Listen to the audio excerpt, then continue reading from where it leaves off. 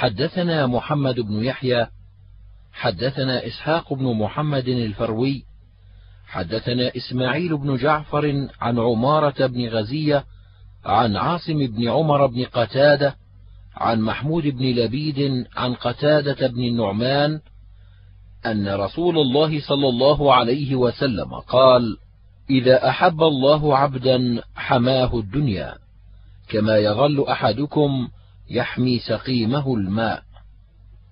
قال أبو عيسى وفي الباب عن صهيب وأم المنذر وهذا حديث حسن غريب. وقد روي هذا الحديث عن محمود بن لبيد عن النبي صلى الله عليه وسلم مرسلا. حدثنا علي بن حجر أخبرنا إسماعيل بن جعفر عن عمرو عن عاصم بن عمر بن قتادة عن محمود بن لبيد عن النبي صلى الله عليه وسلم نحوه ولم يذكر فيه عن قتادة بن النعمان. قال أبو عيسى وقتادة بن النعمان الظفري هو أخو أبي سعيد الخدري لأمه ومحمود بن لبيد قد أدرك النبي صلى الله عليه وسلم ورآه وهو غلام صغير. حدثنا عباس بن محمد الدوري حدثنا يونس بن محمد حدثنا فليح بن سليمان عن عثمان بن عبد الرحمن التيمي عن يعقوب بن أبي يعقوب عن أم المنذر قالت دخل علي رسول الله صلى الله عليه وسلم ومعه علي ولنا دوال معلقة قالت فجعل رسول الله صلى الله عليه وسلم يأكل وعلي معه يأكل. فقال رسول الله صلى الله عليه وسلم لعلي مه مه يا علي فإنك ناقه. قال فجلس علي والنبي صلى الله عليه وسلم يأكل. قالت فجعلت لهم سلقا وشعيرا. فقال النبي صلى الله عليه وسلم يا علي من هذا فأصب فإنه أوفق لك. قال أبو عيسى هذا حديث حسن غريب لا نعرفه إلا من حديث فليح ويروى عن فليح عن أيوب بن عبد الرحمن. حدثنا محمد بن بشار حدثنا أبو عامر وأبو داود قالا حدثنا فليح بن سليمان عن أيوب بن عبد الرحمن عن يعقوب عن أم المنذر الأنصارية في حديثه قالت دخل علينا رسول الله صلى الله عليه وسلم فذكر نحو حديث يونس بن محمد إلا أنه قال أنفع لك. وقال محمد بن بشار وحدثنيه أيوب بن عبد الرحمن هذا حديث جيد غريب. حدثنا بشر بن معاذ العقدي حدثنا أبو عوانة عن زياد بن علاقة عن أسامة بن شريك قال قالت الأعراب يا رسول الله ألا نتداوى؟ قال نعم يا عباد الله تداووا فإن الله لم يضع داء إلا وضع له شفاء. أو قال دواء إلا داء واحدا. قالوا يا رسول الله وما هو؟ قال الهرم.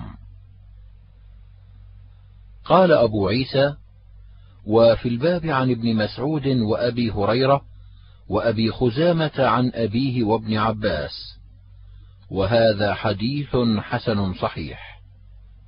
حدثنا أحمد بن منيع أخبرنا إسماعيل بن إبراهيم حدثنا محمد بن السائب بن بركة عن أمه عن عائشة قالت كان رسول الله صلى الله عليه وسلم إذا أخذ أهله الوعك أمر بالحساء فصنع ثم أمرهم فحسوا منه وكان يقول إنه ليرتق فؤاد الحزين ويسرو عن فؤاد السقيم كما تسرو إحداكن الوسخ بالماء عن وجهها. قال أبو عيسى هذا حديث حسن صحيح.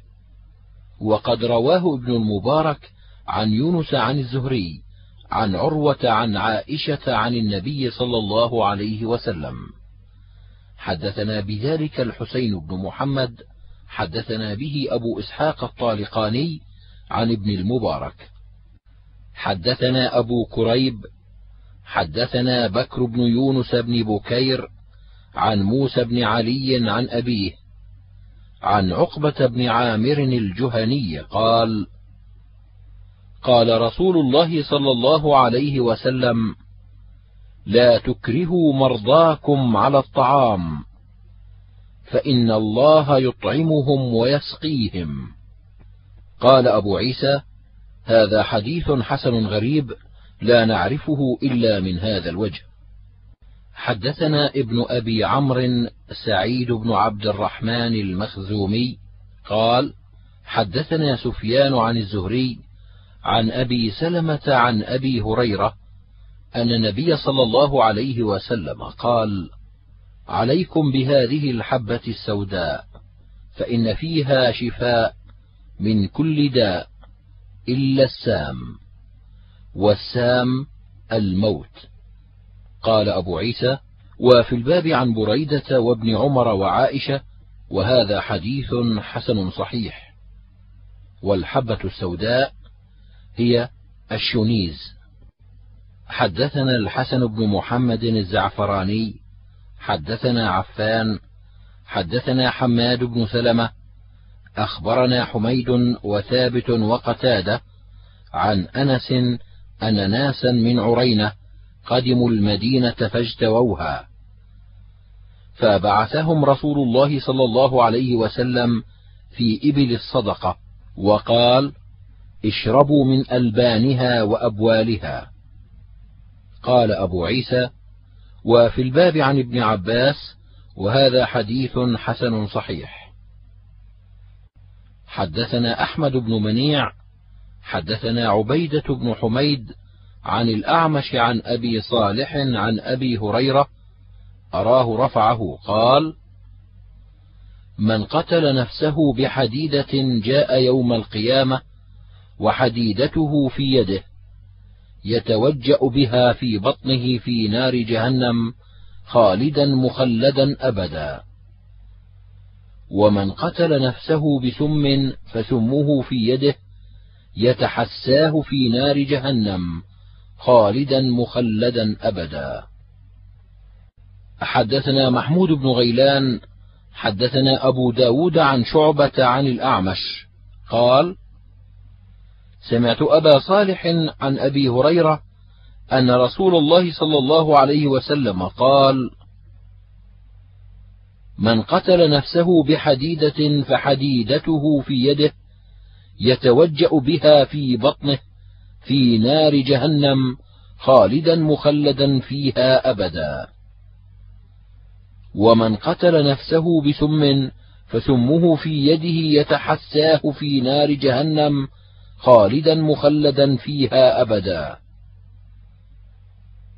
ومن تردى من جبل فقتل نفسه فهو يتردى في نار جهنم خالدا مخلدا فيها أبدا. حدثنا محمد بن العلاء حدثنا وكيع وأبو معاوية عن الأعمش عن أبي صالح عن أبي هريرة عن النبي صلى الله عليه وسلم نحو حديث شعبة عن الأعمش. قال أبو عيسى هذا حديث صحيح وهو أصح من الحديث الأول. هكذا روى غير واحد هذا الحديث عن الأعمش. عن أبي صالح عن أبي هريرة عن النبي صلى الله عليه وسلم. وروى محمد بن عجلان عن سعيد المخبري عن أبي هريرة عن النبي صلى الله عليه وسلم قال من قتل نفسه بسم عذب في نار جهنم ولم يذكر فيه خالدا مخلدا فيها أبدا. وهكذا رواه أبو الزناد عن الأعرج عن أبي هريرة عن النبي صلى الله عليه وسلم وهذا أصح لأن الروايات إنما تجيء بأن أهل التوحيد يعذبون في النار ثم يخرجون منها ولم يذكر أنهم يخلدون فيها. حدثنا سويد بن نصر أخبرنا عبد الله بن المبارك عن يونس بن أبي إسحاق عن مجاهد عن أبي هريرة قال نهى رسول الله صلى الله عليه وسلم عن الدواء الخبيث. قال أبو عيسى يعني السم. حدثنا محمود بن غيلان حدثنا أبو داود عن شعبة عن سماك أنه سمع علقمة بن وائل عن أبيه أنه شهد النبي صلى الله عليه وسلم وسأله سويد بن طارق أو طارق بن سويد عن الخمر فنهاه عنه فقال إنا نتداوى بها. فقال رسول الله صلى الله عليه وسلم إنها ليست بدواء. ولكنها داء. حدثنا محمود حدثنا النضر بن شميل وشبابة عن شعبة بمثله. قال محمود قال النضر طارق بن سويد وقال شبابة سويد بن طارق. قال أبو عيسى هذا حديث حسن صحيح. حدثنا محمد بن مدويه حدثنا عبد الرحمن بن حماد الشعبي. حدثنا عباد بن منصور عن عكرمة عن ابن عباس قال قال رسول الله صلى الله عليه وسلم إن خير ما تداويتم به الصعوط واللدود والحجامة والمشي. فلما اشتكى رسول الله صلى الله عليه وسلم لده أصحابه فلما فرغوا قال لدوهم. قال فلدوا كلهم غير العباس. حدثنا محمد بن يحيى حدثنا يزيد بن هارون حدثنا عباد بن منصور عن عكرمة عن ابن عباس قال قال رسول الله صلى الله عليه وسلم إن خير ما تداويتم به اللدود والصعوط والحجامة والمشي. وخير ما اكتحلتم به الإثمد فإنه يجلو البصر وينبت الشعر. وكان لرسول الله صلى الله عليه وسلم مكحله يكتحل بها عند النوم ثلاثا في كل عين. قال أبو عيسى هذا حديث حسن غريب وهو حديث عباد بن منصور. حدثنا محمد بن بشار حدثنا محمد بن جعفر حدثنا شعبة عن قتادة عن الحسن عن عمران بن حسين أن رسول الله صلى الله عليه وسلم نهى عن الكي. قال فابتلينا فاكتوينا فما أفلحنا ولا أنجحنا. قال أبو عيسى هذا حديث حسن صحيح.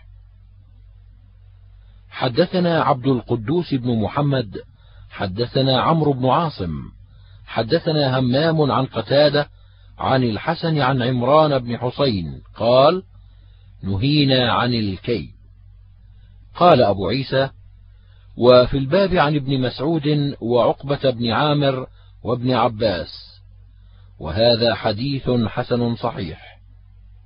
حدثنا حميد بن مسعدة حدثنا يزيد بن زريع أخبرنا معمر عن الزهري عن أنس أن النبي صلى الله عليه وسلم كوى أسعد بن زرارة من الشوكة. قال أبو عيسى وفي الباب عن أبي وجابر وهذا حديث حسن غريب. حدثنا عبد القدوس بن محمد حدثنا عمرو بن عاصم حدثنا همام وجرير بن حازم. قالا حدثنا قتادة عن أنس قال كان رسول الله صلى الله عليه وسلم يحتجم في الأخدعين والكاهل وكان يحتجم لسبع عشرة وتسع عشرة وإحدى وعشرين. قال أبو عيسى وفي الباب عن ابن عباس ومعقل بن يسار وهذا حديث حسن غريب. حدثنا أحمد بن بديل الكوفي حدثنا محمد بن فضيل حدثنا عبد الرحمن بن إسحاق عن القاسم بن عبد الرحمن وابن عبد الله بن مسعود. عن أبيه عن ابن مسعود قال حدث رسول الله صلى الله عليه وسلم عن ليلة أسري به أنه لم يمر على ملأ من الملائكة إلا أمروه أن مر أمتك بالحجامة. قال أبو عيسى وهذا حديث حسن غريب من حديث ابن مسعود. حدثنا عبد بن حميد أخبرنا النضر بن شميل حدثنا عباد بن منصور قال سمعت عكرمة يقول كان لابن عباس غلمة ثلاثة حجامون. فكان اثنان منهم يغلان عليه وعلى أهله وواحد يحجمه ويحجم أهله. قال وقال ابن عباس قال نبي الله صلى الله عليه وسلم نعم العبد الحجام يذهب الدم ويخف الصلب ويجلو عن البصر. وقال إن رسول الله صلى الله عليه وسلم حين عرج به ما مر على ملأ من الملائكة إلا قالوا عليك بالحجامة. وقال إن خير ما تحتجمون فيه يوم سبع عشرة ويوم تسع عشرة ويوم إحدى وعشرين. وقال إن خير ما تداويتم به الصعوط واللدود والحجامة والمشي. وإن رسول الله صلى الله عليه وسلم لده العباس وأصحابه. فقال رسول الله صلى الله عليه وسلم من لدني؟ فكلهم أمسكوا. فقال لا يبقى أحد ممن في البيت إلا لد غير عمه العباس. قال عبد قال النضر اللدود الوجور. قال أبو عيسى هذا حديث حسن غريب لا نعرفه إلا من حديث عباد بن منصور. وفي الباب عن عائشة. حدثنا أحمد بن منيع حدثنا حماد بن خالد الخياط حدثنا فائد مولى لآل أبي رافع عن علي بن عبيد الله عن جدته سلمى.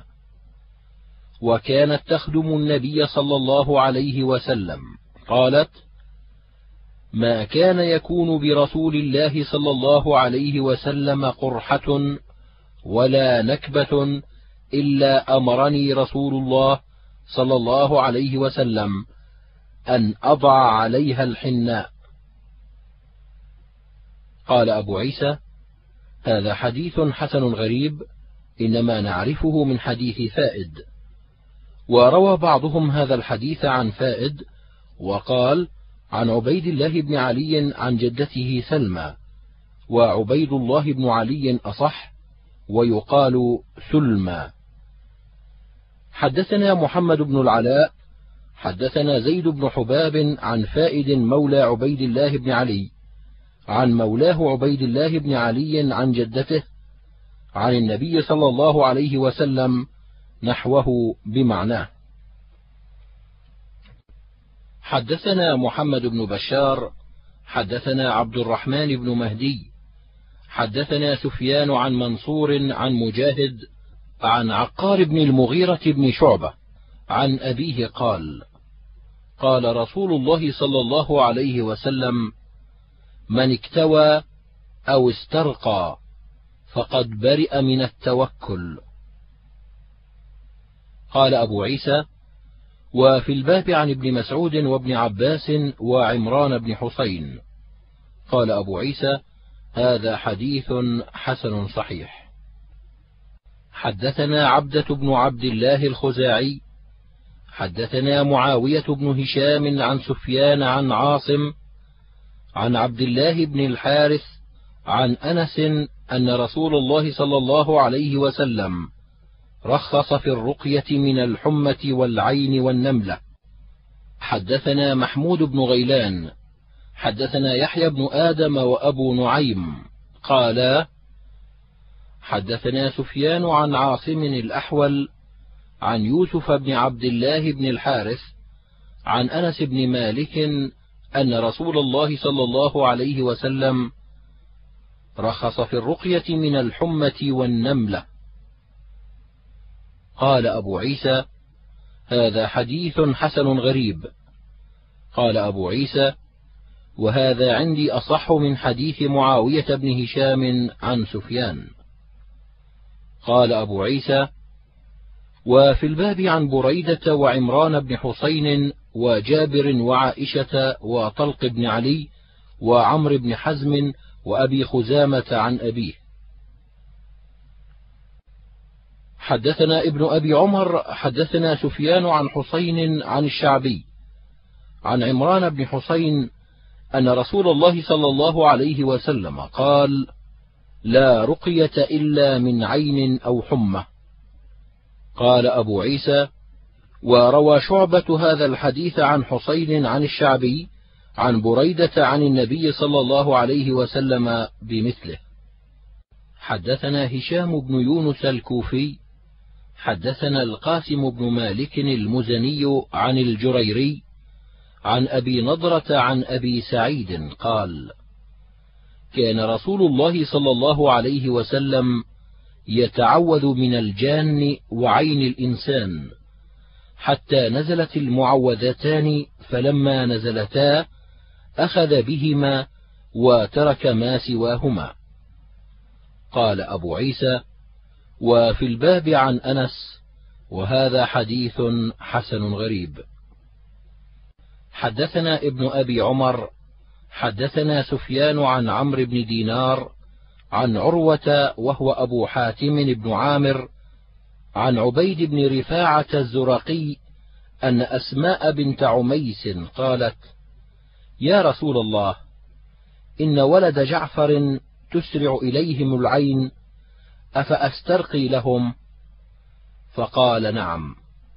فإنه لو كان شيء سابق القدر لسبقته العين.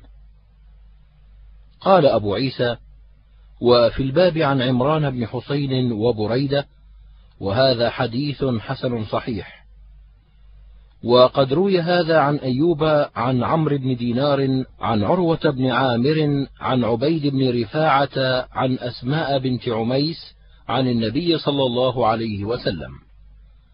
حدثنا بذلك الحسن بن علي الخلال حدثنا عبد الرزاق عن معمر عن أيوب بهذا. حدثنا محمود بن غيلان حدثنا عبد الرزاق ويعلى عن سفيان عن منصور عن المنهال بن عمرو عن سعيد بن جبير عن ابن عباس قال كان رسول الله صلى الله عليه وسلم يعوذ الحسن والحسين يقول أعيذكما بكلمات الله التامة من كل شيطان وهامة. ويقول هكذا كان إبراهيم يعوذ إسحاق وإسماعيل عليهم السلام. حدثنا الحسن بن علي الخلال حدثنا يزيد بن هارون وعبد الرزاق عن سفيان عن منصور نحوه بمعناه. قال أبو عيسى هذا حديث حسن صحيح.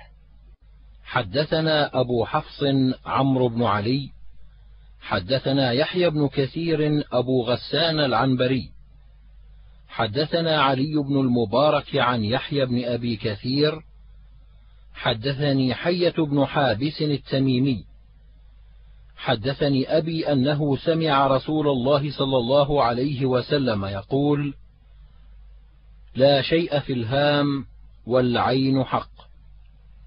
حدثنا أحمد بن الحسن بن خراش البغدادي حدثنا أحمد بن إسحاق الحضرمي حدثنا وهيب عن ابن طاووس عن أبيه عن ابن عباس قال قال رسول الله صلى الله عليه وسلم لو كان شيء سابق القدر لسبقته العين وإذا استغسلتم فاغسلوا قال أبو عيسى وفي الباب عن عبد الله بن عمرو وهذا حديث حسن صحيح غريب وحديث حية بن حابس حديث غريب.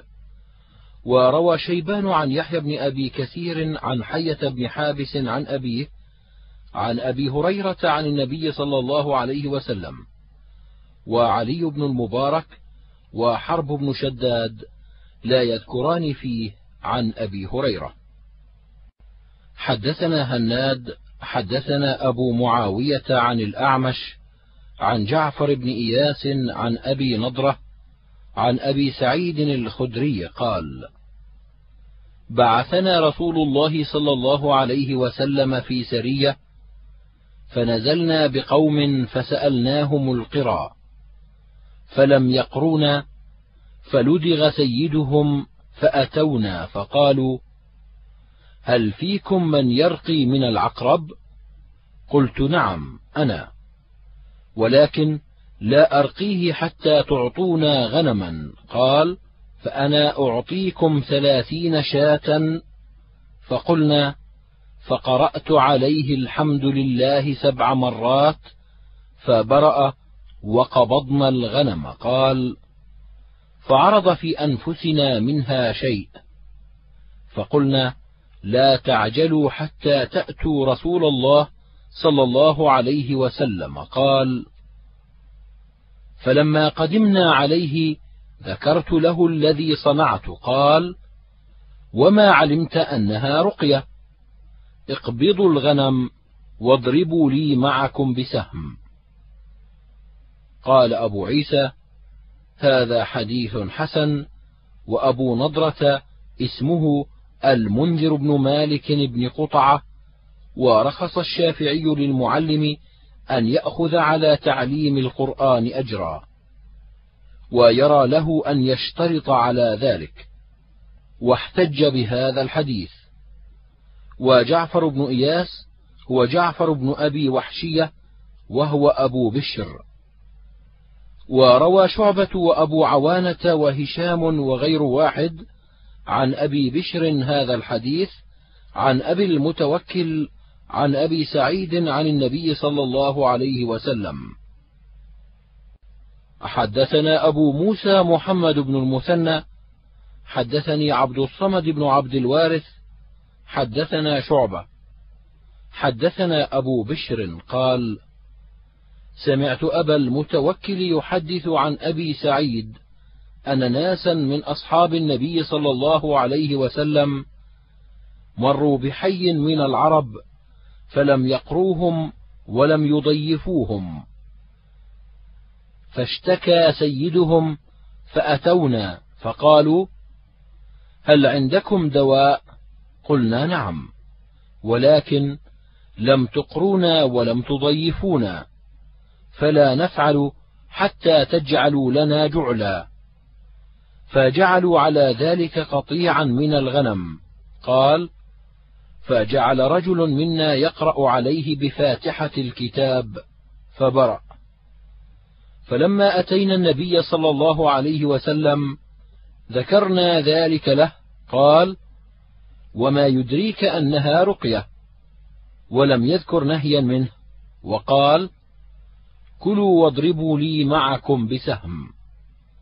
قال أبو عيسى هذا حديث صحيح وهذا أصح من حديث الأعمش عن جعفر بن إياس.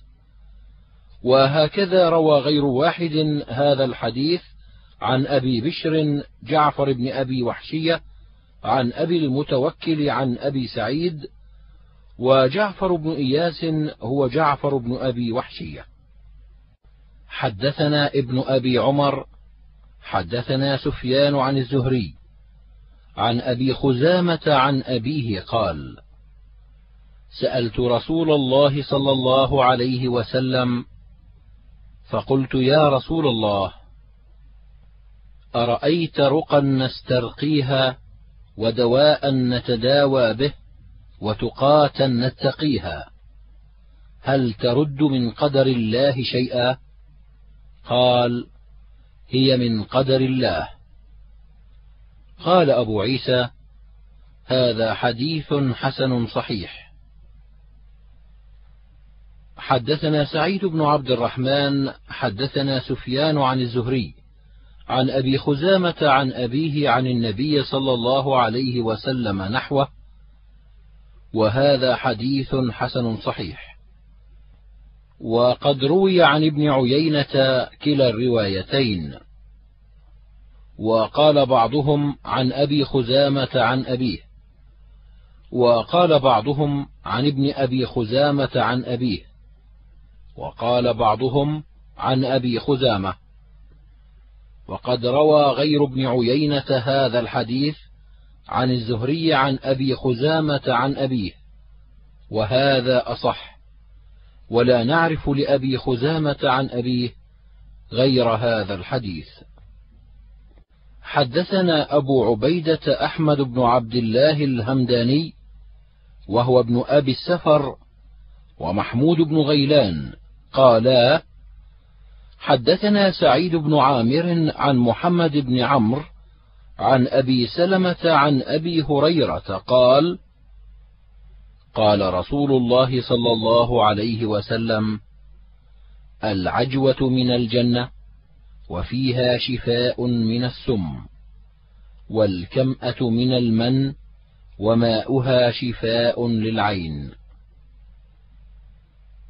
قال أبو عيسى وفي الباب عن سعيد بن زيد وأبي سعيد وجابر وهذا حديث حسن غريب وهو من حديث محمد بن عمرو ولا نعرفه إلا من حديث سعيد بن عامر.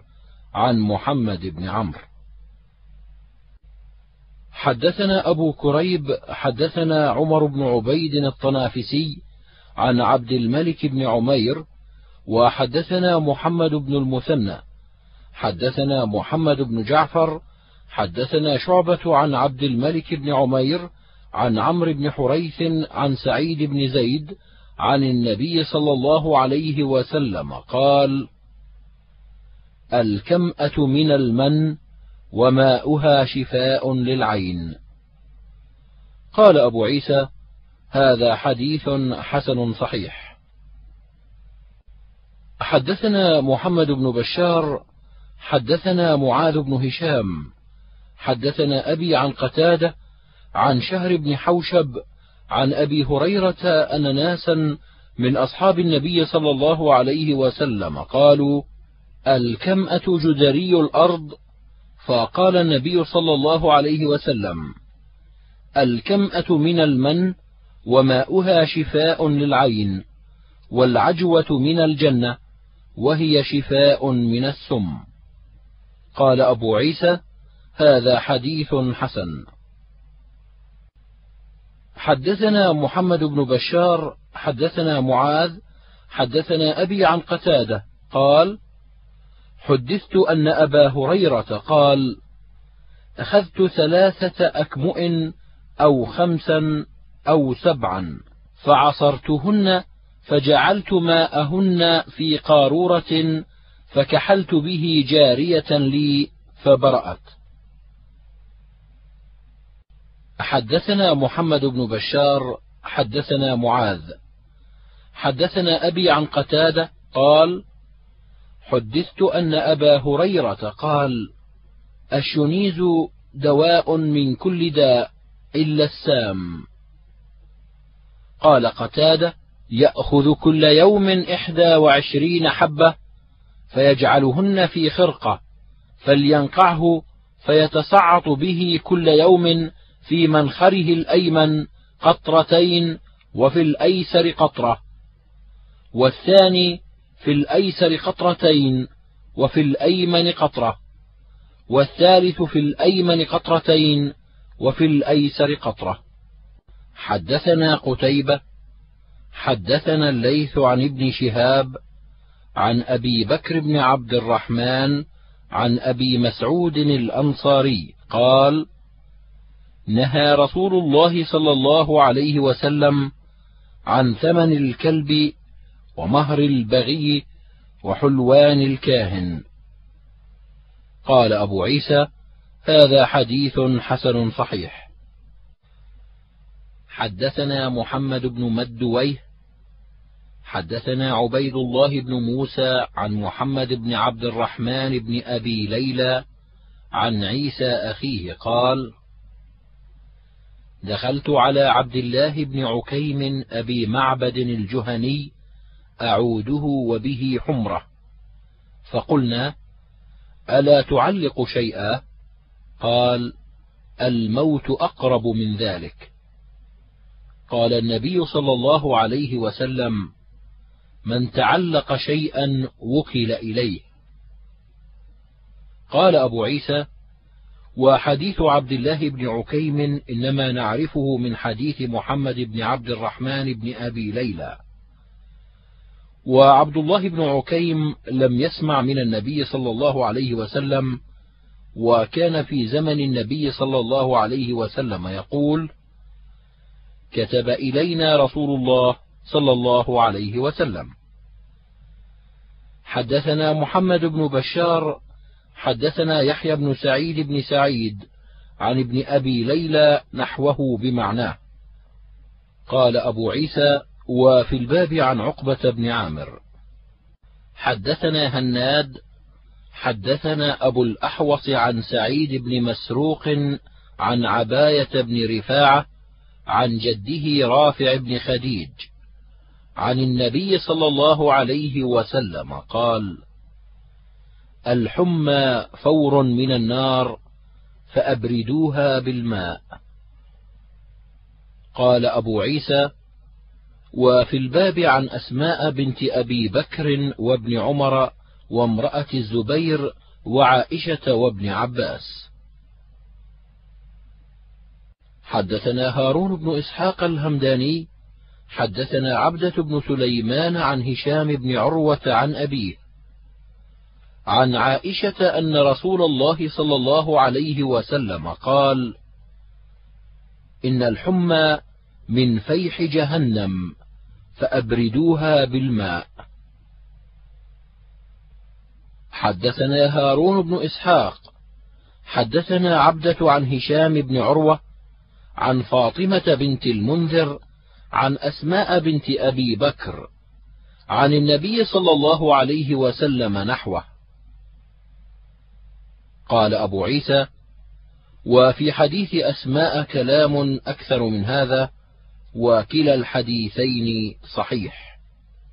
حدثنا محمد بن بشار حدثنا أبو عامر العقدي حدثنا إبراهيم بن إسماعيل بن أبي حبيبة عن داود بن حسين عن عكرمة عن ابن عباس أن النبي صلى الله عليه وسلم كان يعلمهم من الحمى ومن الأوجاع كلها أن يقول بسم الله الكبير أعوذ بالله العظيم من شر كل عرق نعار ومن شر حر النار.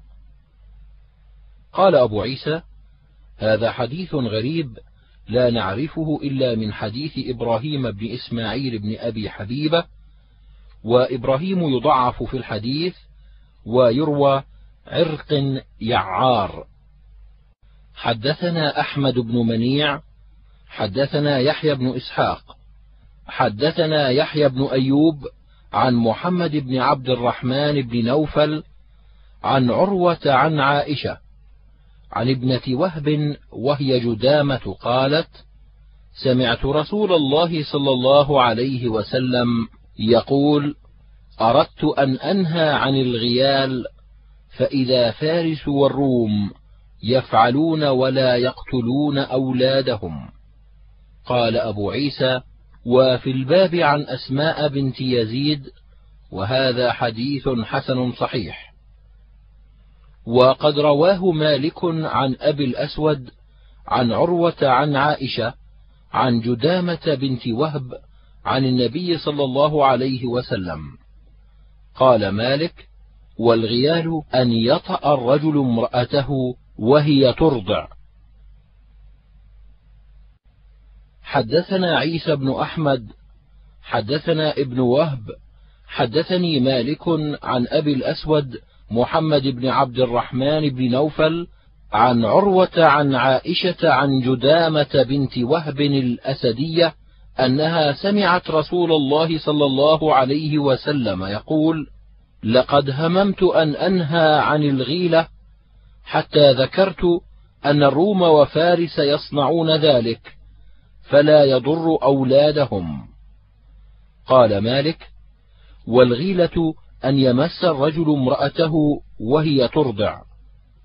قال عيسى بن أحمد: وحدثنا إسحاق بن عيسى حدثني مالك عن أبي الأسود نحوه قال أبو عيسى هذا حديث حسن غريب صحيح.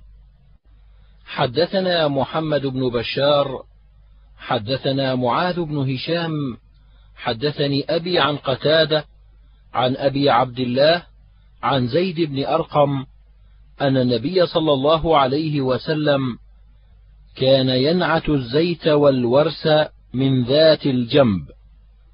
قال قتادة يلده ويلده من الجانب الذي يشتكيه. قال أبو عيسى هذا حديث حسن صحيح. وأبو عبد الله اسمه ميمون هو شيخ بصري. حدثنا رجاء بن محمد العدوي البصري. حدثنا عمرو بن محمد بن أبي رزين. حدثنا شعبة عن خالد الحذاء. حدثنا ميمون أبو عبد الله قال سمعت زيد بن أرقم قال أمرنا رسول الله صلى الله عليه وسلم أن نتداوى من ذات الجنب بالقسط البحري والزيت. قال أبو عيسى هذا حديث حسن غريب صحيح لا نعرفه إلا من حديث ميمون عن زيد بن أرقم.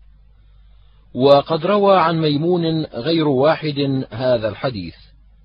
حدثنا إسحاق بن موسى الأنصاري حدثنا معا حدثنا مالك عن يزيد بن خصيفة عن عمرو بن عبد الله بن كعب السلمي أن نافع بن جبير بن مطعم أخبره عن عثمان بن أبي العاص أنه قال: أتاني رسول الله صلى الله عليه وسلم وبي وجع قد كان يهلكني.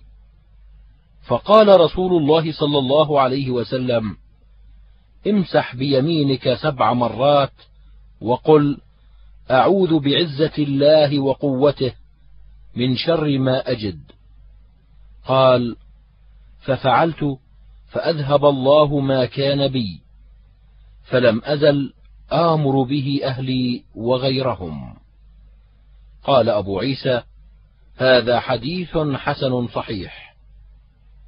حدثنا محمد بن بشار حدثنا محمد بن بكر حدثنا عبد الحميد بن جعفر حدثني عتبة بن عبد الله عن أسماء بنت عميس أن رسول الله صلى الله عليه وسلم سألها بما تستمشين؟ قالت بالشبرم. قال حار جار. قالت ثم استمشيت بالسنة فقال النبي صلى الله عليه وسلم لو أن شيئا كان فيه شفاء من الموت لكان في السنة قال أبو عيسى هذا حديث حسن غريب يعني دواء المشي. حدثنا محمد بن بشار حدثنا محمد بن جعفر حدثنا شعبة عن قتادة عن أبي المتوكل عن أبي سعيد قال جاء رجل إلى النبي صلى الله عليه وسلم فقال إن أخي استطلق بطنه. فقال اسقه عسلا. فسقاه ثم جاء. فقال يا رسول الله قد سقيته عسلا فلم يزده إلا استطلاقا. فقال رسول الله صلى الله عليه وسلم اسقه عسلا. فسقاه ثم جاءه فقال يا رسول الله قد سقيته عسلا فلم يزده إلا استطلاقا. قال فقال رسول الله صلى الله عليه وسلم صدق الله وكذب بطن أخيك إسقه عسلا فسقاه عسلا فبرأ. قال أبو عيسى هذا حديث حسن صحيح. حدثنا محمد بن المثنى حدثنا محمد بن جعفر حدثنا شعبة عن يزيد بن خالد قال: سمعت المنهال بن عمرو يحدث عن سعيد بن جبير عن ابن عباس عن النبي صلى الله عليه وسلم أنه قال ما من عبد مسلم يعود مريضا لم يحضر أجله فيقول سبع مرات أسأل الله العظيم رب العرش العظيم أن يشفيك إلا عوفي. قال أبو عيسى هذا حديث حسن غريب لا نعرفه إلا من حديث المنهال بن عمرو. حدثنا أحمد بن سعيد الأشقر الرباطي. حدثنا روح بن عبادة. حدثنا مرزوق أبو عبد الله الشامي. حدثنا رجل من أهل الشام. أخبرنا ثوبان عن النبي صلى الله عليه وسلم قال إذا أصاب أحدكم الحمى فإن الحمى قطعة من النار فليطفئها عنه بالماء فليستنقع نهرا جاريا ليستقبل جرية الماء. فيقول بسم الله اللهم اشف عبدك وصدق رسولك. بعد صلاة الصبح قبل طلوع الشمس فليغتمس فيه ثلاث غمسات ثلاثة أيام. فإن لم يبرأ في ثلاث فخمس وإن لم يبرأ في خمس فسبع فإن لم يبرأ في سبع فتسع فإنها لا تكاد تجاوز تسعا بإذن الله. قال أبو عيسى هذا حديث غريب. حدثنا ابن أبي عمر حدثنا سفيان عن أبي حازم قال سئل سهل بن سعد وأنا أسمع بأي شيء دوي جرح رسول الله صلى الله عليه وسلم. فقال ما بقي أحد أعلم به مني. كان علي يأتي بالماء في ترسه وفاطمة تغسل عنه الدم وأحرق له حصير فحشي به جرحه. قال أبو عيسى هذا حديث حسن صحيح. حدثنا علي بن حجر قال أخبرنا الوليد بن محمد الموقري عن الزهري عن أنس بن مالك قال قال رسول الله صلى الله عليه وسلم إنما مثل المريض إذا برأ وصح. كالبردة تقع من السماء في صفائها ولونها. حدثنا عبد الله بن سعيد الأشج. حدثنا عقبة بن خالد السكوني. عن موسى بن محمد بن إبراهيم التيمي. عن أبيه عن أبي سعيد الخدري قال قال رسول الله صلى الله عليه وسلم إذا دخلتم على المريض فنفسوا له في أجله فإن ذلك لا يرد شيئا ويطيب بنفسه. قال أبو عيسى هذا حديث غريب. حدثنا هناد ومحمود بن غيلان قالا حدثنا أبو أسامة عن عبد الرحمن بن يزيد بن جابر عن إسماعيل بن عبيد الله عن أبي صالح الأشعري عن أبي هريرة أن النبي صلى الله عليه وسلم عاد رجلا من وعك كان به فقال أبشر فإن الله يقول هي ناري أسلطها على عبدي المذنب لتكون حظه من النار. حدثنا إسحاق بن منصور قال أخبرنا عبد الرحمن بن مهدي عن سفيان الثوري عن هشام بن حسان عن الحسن قال كانوا يرتجون الحمى ليلة كفارة لما نقص من الذنوب.